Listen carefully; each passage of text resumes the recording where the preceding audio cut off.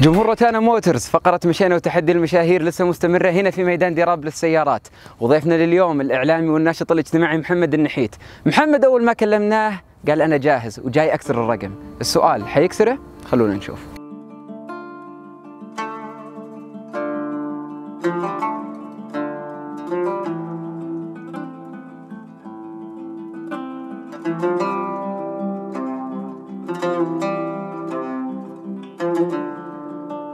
محمد جيت الآن في عالم السيارات. يمكن أول مرة تجي الميدان ديراب أنت ولا؟ صحيح. والله هذه أول تجربة. صراحة أنا أنا أسمع عنه من زمان. إيه.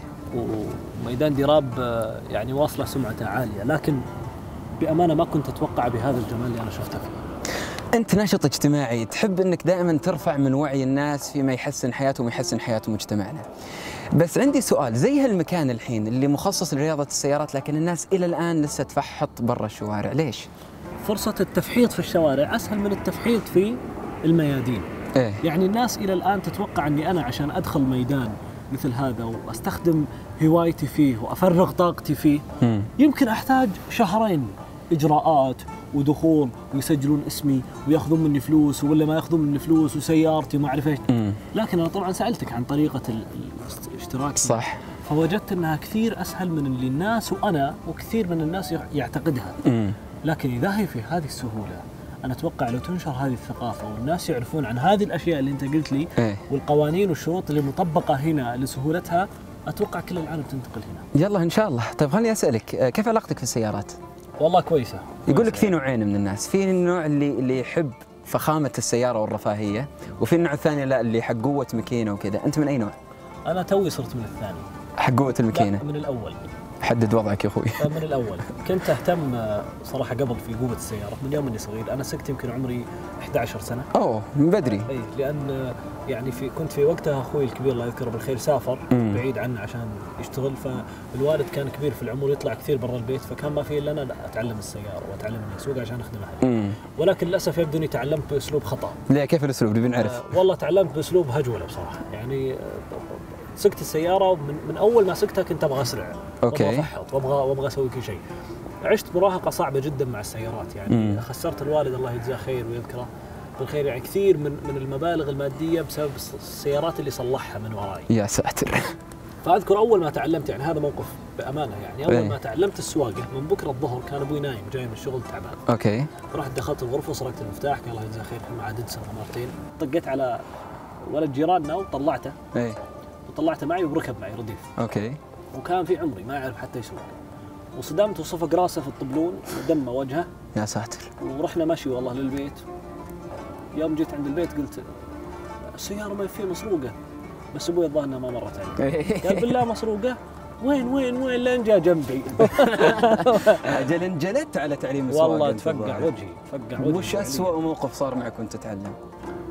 والله هذا الحادث طبعا. هذا هو جلد يعني. عجزت لا أنسى ذكرياته إلى الآن يعني لأنه مم. خويي راح المستشفى وصارت مشكلة وأبوه جاء لمي طبعا ضربني أبوي وضربني أبو الولد. إيه. فأنا ذقتها من جهتين يعني. طيب كيف جوك أنت مع البرد وال... مع البر والكشتات وهذا؟ أكيد لك فيها أنت ولك مشوار طلعت فيه قبل فترة الحفر الباطن كان لك عمل خيري إيه، سويته إيه، صحيح. آه، ب- ب- ما هو بالحيل لكني إيه. والله أحب الدير أكثر يعني واحب السيارات الصغيره أكثر. رياضة التطعيس تستهويك ولا لا؟ ما هو بكثير والله من يوم إني صغير. غريبة مع إنه أغلب ربعك والله لا. شايفينهم يحبونه. في فترة مراهقتي يعني استهواني ال drift والتفحيط أكثر من من البرام بكثير مرة. مرة مرة. كنت أحب ال- السيارات ال sport والسيارات اللي عزمها قوي. ودخلت في عالم ترهيم المكاين للسيارات الصغيرة ما شاء الله. الكبار أي كانوا أخوياي اللي ربعي كلهم في هذا ال mood اللي اللي حولي كلهم في هذا ال mood. فما كنت ما تعمقت لكني كنت أشوفهم يسوون قدامي يعني. ممتعة يعني. كنا نتمنى والله مثل هذه هذه الميادين موجودة عندنا من قبل. كان يمدينا طلعنا بالشكل الصحيح. طيب محمد خلينا نطلع شوي عن جانب التفحيط. أبغى أدخل شوي على جانب وزارة التجارة، وزارة التجارة نازلة جلد بذا الوكالات. وإلا تبغى تعطي حق المواطن ويعطيهم العافية طبعا. بس أنت شايف مستوى خدمة الوكالات؟ وصل لين المرحلة اللي إحنا نبيها، لا. ليه؟ والله ما وزيادة على كذا ترى إحنا عندنا مشكلة في الشوارع.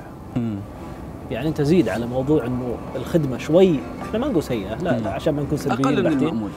أقل من اللي حنا أقل من مستوانا كدولة مم. أقل من مستوى الشعب كمستخدم مم.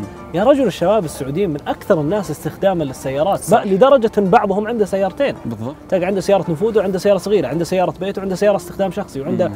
سيارة للزحمة وسيارة للطرق السريعة مضبطين أمورهم فمع كل هذا ما نجد الخدمة اللي إحنا نبغاها أمر صعب ومع طيب، ذلك الشوارع اللي انت قلت وش سالفة شوارعنا؟ الحفريات. اي المطبات اللي يعني تكون قياساتها ما هي مناسبة لنفس الشارع أو نفس السيارات. okay. يعني طبعا أنا شفت مقطع قبل كم يوم عندهم اهتمام عالي ويقولون للناس بالعكس إذا أنت شفت مطب سيء بلغ ترى إحنا نجي نعدله من بكرة وهذا حلو. كلام صحيح. طيب. أنا كنت شفت حفرية وبلغت عليها يشهد الله هذا موقف صار معي. شخصيا. قدام البيت صارت في حفرية وأهملوها لين نزل الشارع. okay. من كثر المطر والدق السيارات تنزل.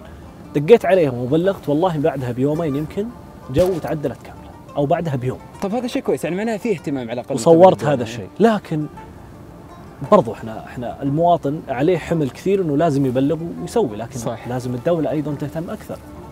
يعني يلا أنا بلغت عن شركة اليوم جالسة حطت لي مطب ولا ولا ترقاه ولا تريلا مم.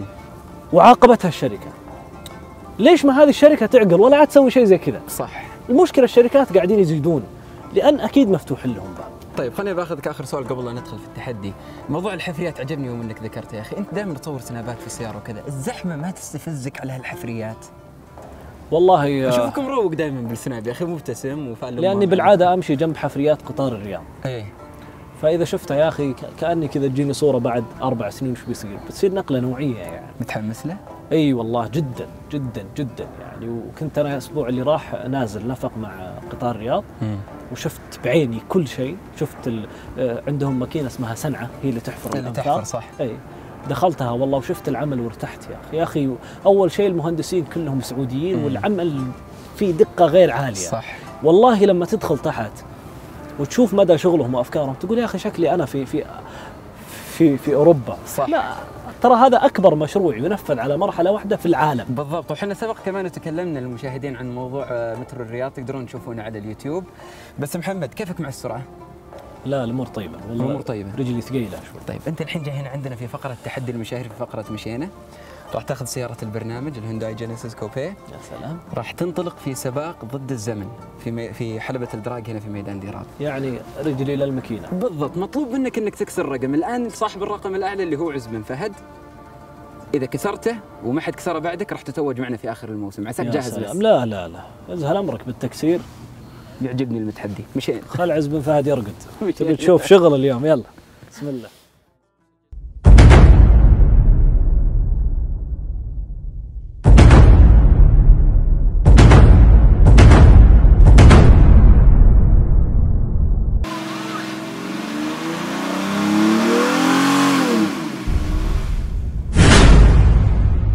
اللي يعجبني في محمد إنه جاي متحدي وشفتوا الحماس اللي موجود عنده بس حيقدر يكسر الرقم؟ قلنا نسأله. أبو حميد جاهز؟ أنا بالزين جاهز؟ أنت حديت فينا وقلت لي أنا ماني بجاي هنا إلا عشان أكسر الرقم. يا حبيبي إحنا اليوم ما جينا إلا عشان التكسير. شوف اللي يسولف كثير ما يكسر ارقام صدق. إيه. بس أنا ما سولفت ترى ساكت من يوم جيت. يلا نشوف. قواك الله. يلا يلا.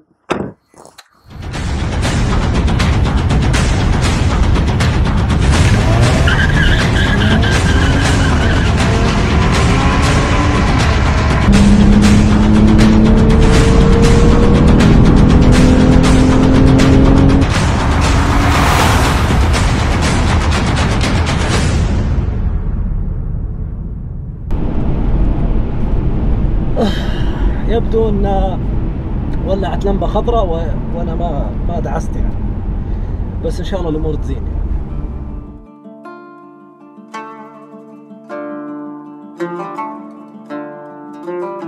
اليوم عرفت قيمة المتعة الحقيقية في هذه الأشياء أنك تسوي شيء وأنت واثق أنه مو بخطأ أنه النظام معاك القانون معاك في فرصة لك في وسائل أمان كثير حتى لو هربت فيك السيارة زحفت يمين يسار في في في نظام أنت جالس تسويه ما تضر أحد ما تزعج أحد ما تسيء لأحد ولا حتى تسيء لنفسك. أنت اليوم جالس تستخدم هوايتك في هذا المكان بطريقة قانونية. ما حد يدعي عليك ما حد يتعرض لك أنت ما تتعرض لأحد. فهنا كانت قمة المتعة وبالنسبة لي هذا هو الفوز الحقيقي اللي أنا فزت فيه اليوم لأن هذه التجربة أتحلم فيها من وأنا صغير. اني أدخل هذا الميدان وأشوف هذه الأجواء وألبس الخوذة وأجرب الجو. اليوم جربته. مبروك العز بن فهد. ما ادري هو اللي بيفوز ولا مو فاز بس أنا عجزت لاكسر رقمه آه بالتوفيق له. وحظ أوفر لجميع الناس اللي شاركوا مثلي وخسروا. فأشوفكم على خير إن شاء الله في حلقات جاية. تصبحون على خير.